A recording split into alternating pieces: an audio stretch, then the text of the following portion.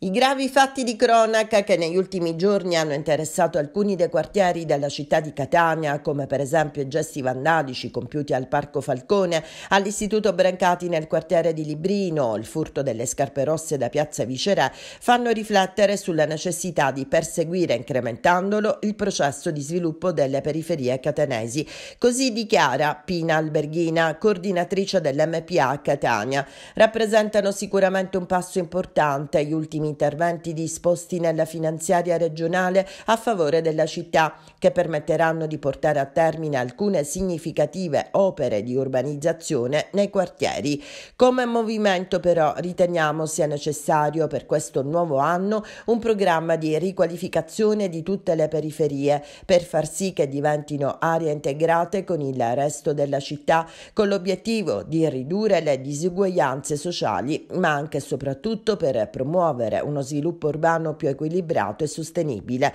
L'auspicio, conclude la coordinatrice dell'MPA, è che si giunga a realizzare d'intesa con l'amministrazione comunale e su questo il movimento si impegnerà a promuovere tutte le più ampie iniziative inclusive, sostenibili e innovative, una trasformazione dei centri periferici in aree vivibili e pienamente integrate con il resto della città. E sul danneggiamento dell'Istituto Brancati è intervenuta anche la deputata dall'Assemblea regionale siciliana del Partito Democratico, Ersilia Saverino. I raid da parte di un gruppo di delinquenti alla scuola Vitaliano Brancati di Catania, nel plesso del Viale San Teodoro, è un gesto sconsiderato che va punito in modo esemplare.